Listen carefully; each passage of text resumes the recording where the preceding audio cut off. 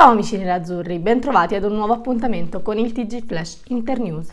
Vigilia di Genoa-Inter, gara valida per la diciottesima giornata di Serie A, nonché ultimo impegno dell'anno per i nerazzurri di Simone Inzaghi. Il tecnico piacentino ritrova Frattesi che ha recuperato dall'influenza ed è pronto a partire per Genova. Buone notizie anche per De Vrij che oggi torna ad allenarsi in gruppo e sarà nella lista dei convocati. Ancora attesa invece per Denzel Dumfries. Per la sfida contro i Liguri, Inzaghi schiererà probabilmente la stessa formazione vista a San Siro contro il Lecce, con una sola novità. Nel reparto difensivo, Pavar, recuperato appieno dall'infortunio, partirà dal primo minuto al posto di Bissek davanti a Sommer insieme ad Acerbi e Bastoni. Per il resto, in mancanza dei due titolari, Dumfries e Di Marco, sulle fasce ancora Darmian a destra e Carlos Augusto a sinistra, con Barella, Cialanoglu Calhanoglu e Mkhitaryan a centrocampo. In attacco Turam e Arnautovic, con quest'ultimo alla ricerca del primo gol in nerazzurro.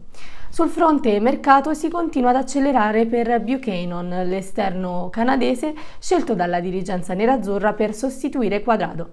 La distanza tra richiesta e offerta sembra essersi ridotta a circa 2 milioni di euro e l'accordo potrebbe arrivare a metà strada tra i 10 milioni richiesti dal Bruges e i 6 offerti dall'Inter.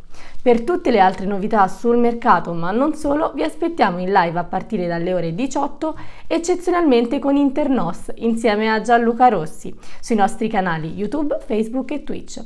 Ricordatevi di iscrivervi al nostro canale e attivare le notifiche. A dopo! Segui internews.it per restare sempre aggiornato 24 ore su 24, 7 giorni su 7 su tutto ciò che riguarda la tua squadra del cuore. Se sei interista non puoi non aver già scaricato gratuitamente e recensito l'app Android o iOS per avere sempre a portata di mano le ultime notizie sull'Inter. Ci trovi anche su Facebook, Twitter, Instagram, YouTube e Telegram. Se sei in cerca di approfondimenti ed esclusive a tinte nero-azzurre, internews.it è quello che fa per te.